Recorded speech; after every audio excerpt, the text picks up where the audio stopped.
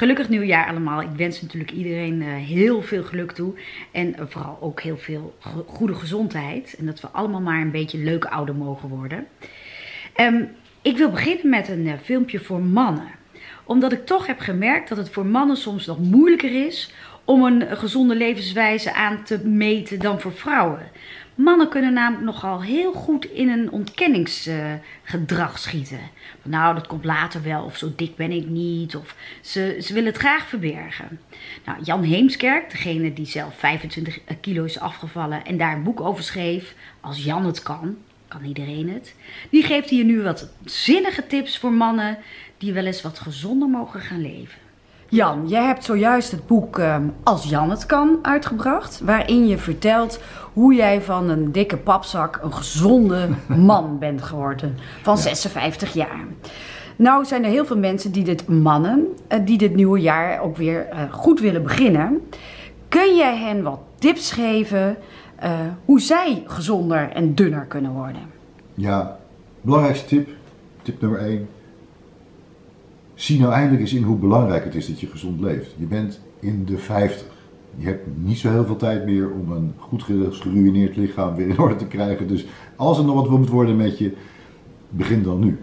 Stip 1. 2. Zorg dat je hulp krijgt. Je kunt het niet alleen, want als je het alleen komt, had je het te lang gedaan. Als het, het is fijn om een thuis een partner achter je te hebben staan die erachter staat, die meedoet, liefst fantastisch, maar haal een professional erbij. Als je wil afvallen, ga naar een diëtist. Die kan je helpen. 3 hou nou eindelijk eens een keer vol. Het is zo kinderachtig om je telkens weer te laten gaan en te denken, ik kan het toch niet of ik wil het niet, of ik begin volgende week. Neem jezelf serieus, je bent de moeite waard, je lichaam is de moeite waard. Je hebt echt geen zin om over tien jaar in een zuurstoftent te liggen met twee afgezette benen van de suikerziekte. Daar heb je geen zin in. En denk daar nu vast aan, denk niet dat komt wel, dat kon je tien jaar geleden nog denken, maar nu niet meer. En als je eenmaal bezig bent, ervaar dan ook als iets lekker is. Je kunt wel zeggen, ik lust geen sla, maar je lust heus wel sla. En geef dan straks ook een keer eerlijk toe dat je die sla best wel lekker vond. En dat je het ook niet erg vindt om volgende week één keer vegetarisch te eten of vis. Dus schakel al die, of nee beter, herken al die mechanismes in je eigen gekke geest die proberen jou omlaag te houden. Ga omhoog. Ik weet dat er binnenin bij jou een dunne man zit, gillend om eruit te komen.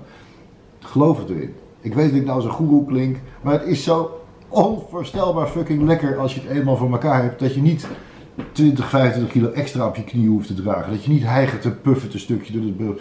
Dat je niet elke ochtend wakker wordt met een kater omdat je weer zo nodig een half krat bier op moest zuipen op een verjaardag van niks.